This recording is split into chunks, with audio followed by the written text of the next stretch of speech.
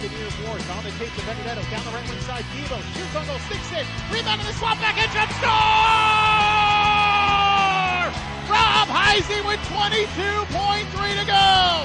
backhand, a shorthanded goal. And the game is tied at 2.